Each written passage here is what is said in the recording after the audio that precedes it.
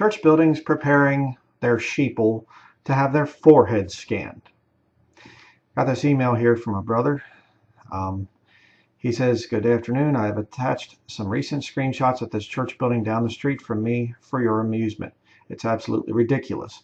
They will be requiring face masks worn at face, face masks worn at all times and check, checking temperatures at the front door. If you have a temperature higher than 99 degrees, you will not be permitted to enter the building. What a joke. Okay, see if I can show this here. You can kind of see it. It says about church reopening June 13th through the 14th, 90 minute services, 25 people Saturday, 25 people Sunday, 25 people online.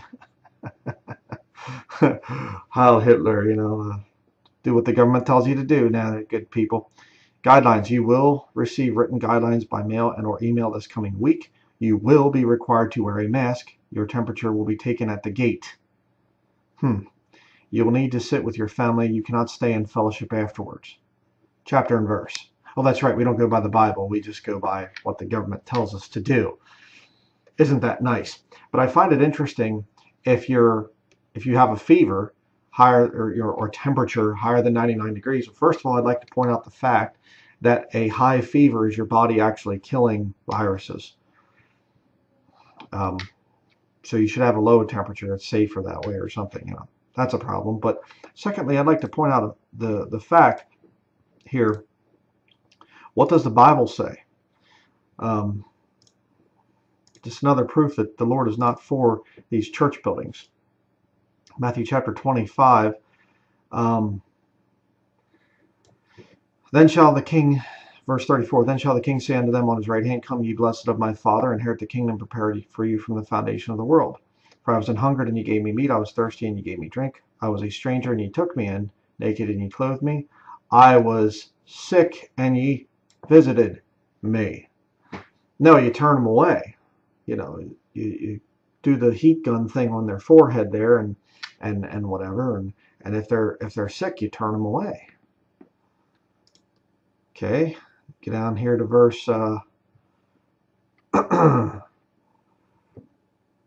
um, then shall they answer, also answer him, saying, Lord, when saw we thee? And well, appear. Uh, it's not the verse I was looking for. Um, sick and in prison, and ye visited me not. All right, right there, verse 43. Sick and in prison, and ye visited me not. Uh, the Lord has an issue with people saying, "Hey, um, you're sick. Oh, then you can't be here. You go, go away." and, and I thought I thought that the coronavirus thing was not supposed to have symptoms. Some people have symptoms, some people don't. Uh, some people die, some people don't. It's just kind of you know we'll make it up as we go. You know, it's insane. But again, what are they doing? Scanning foreheads. Get people acclimated to the thing of you get your face mask on. There's a picture of a good slave right there. You get your face mask on there, you know, which is not even covering the nose, but we won't get into that. Um, and you scan the forehead. Just sit there with a zombie-like stare and, uh, you know, okay, uh, yeah. Um, California issues guidelines. Okay, again, this is um, what we have here, May 25th, 2020, CBS News. Um, temperature and symptoms screening for uh, places of worship. Okay, um, where is there even any scripture, as I've stated over many years now, where is there any scripture at all saying go to church or that you should have a public building? There isn't any. It's completely unscriptural. Um, yeah. Um, new church guidelines here. Uh, houses of worship. Congregants should be screened for any symptoms. Screening. Okay. Get people acclimated. Scan the forehead. Mark upon the forehead. You see how it works.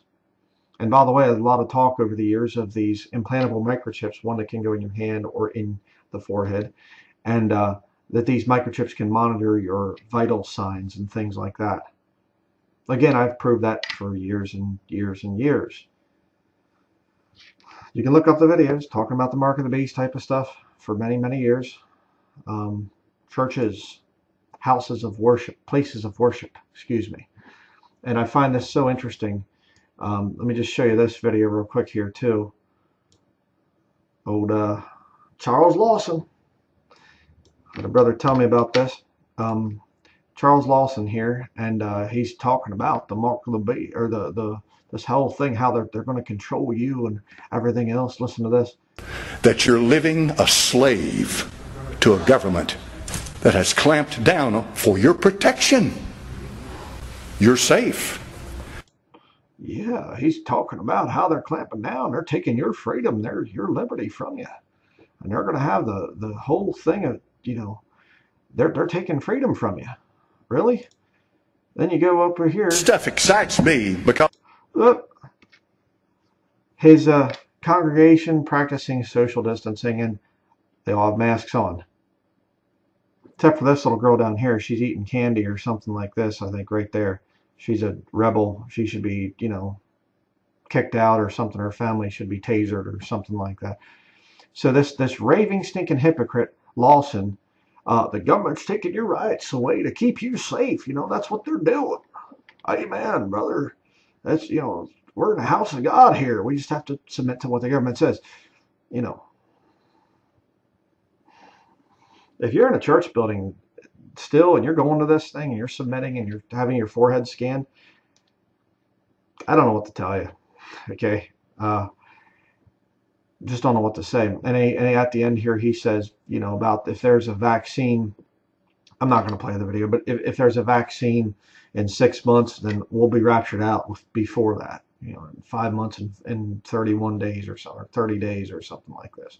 We'll be raptured out before. I'm going to be doing a study on that in the future because there's a lot of people who are pre-trib, believe in the time of Jacob, catching up before the time of Jacob's trouble, and they say, well, we won't be here for the mark of the beast, so I don't have to do anything to fight that system. Uh, I'm going to show from the scriptures why that's wrong. We are supposed to fight. And again, you know, look at this guy here. I guess I gotta say this. It just cracks me up. This guy here, the bottom part, it looks like his face mask thing's coming off. This woman here, she's just got it tucked up under her glasses. That's going to protect you.